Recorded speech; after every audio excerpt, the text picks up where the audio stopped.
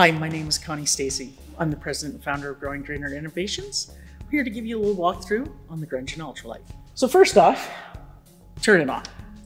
Press and hold the power button is the one on the very top. And it's press and hold so that you don't accidentally turn it on or off with a simple click. Once it's on, you have options of direct current or DC power versus alternating current or AC power. If what you're looking for is DC power, press and hold to turn on the power to this section of the ultralight. If you want AC power, press and hold. You'll see the green light come on, and again, you have power on the side for AC. We recommend that you do not turn on the AC if you only need DC. And the reason is that the AC converter uses a little bit of energy, even if you're not charging something. So save your battery and just use the DC. To give you a little bit of an idea of what you're gonna see on the display, I'm gonna just plug in a rechargeable drill battery.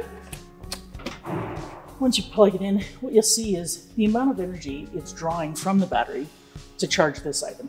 So in this case, it's kind of spinning around at about 20 watts.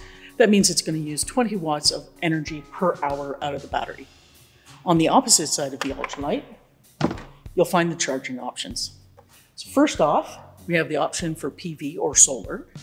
The cable is an Anderson power pole on this end and an MC4 on the opposite, which is the standard connector to most solar panels.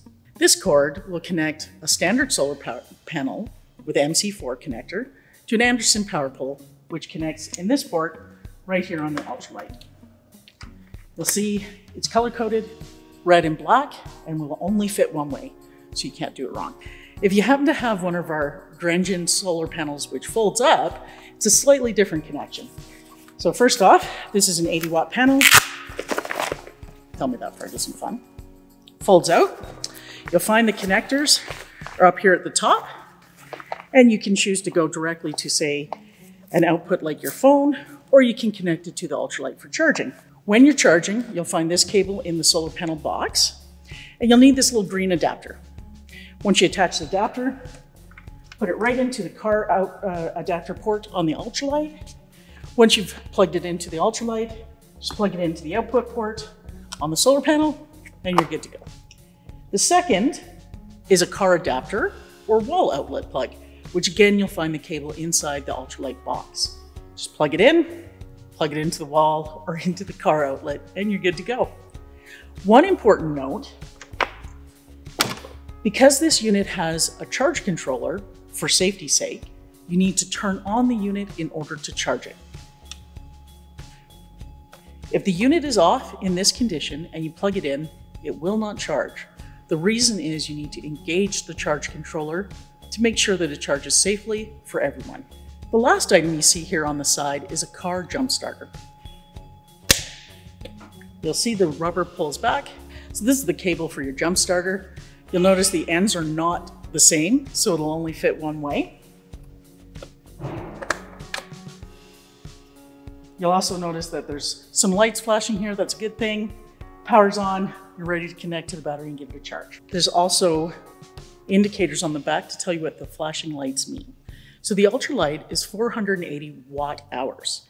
Be careful when you're looking at different products on the market. Some will talk in microamp hours or amp hours. Amp hours and microamp hours vary based on the voltage, whereas watt hours, it's the same no matter what the voltage. So make sure you're comparing apples to apples. If somebody's talking in watt hours, talk in watt hours. If you're comparing amp hours, make sure they're the same voltage. One of the great options with the Grengine Ultralite is, of course, that it's silent. It's lightweight and it's emission free. So you can take it to places like the outdoors and camp and not feel so guilty. Great for charging laptops, screens, devices of just about any kind, small power tools. Terrific for traveling with a CPAP machine. Another good use is as an uninterrupted power supply. If you're working from home and you're a little bit worried of a power outage and losing power to your computer or laptop, it's a good option to have the laptop plugged into the ultralight and the ultralight plugged into the wall. If there should be an outage, the laptop will simply draw power from the ultralight until the grid is restored.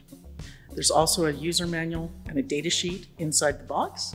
And if you can't find what you're looking for, go to our website at grengine.com.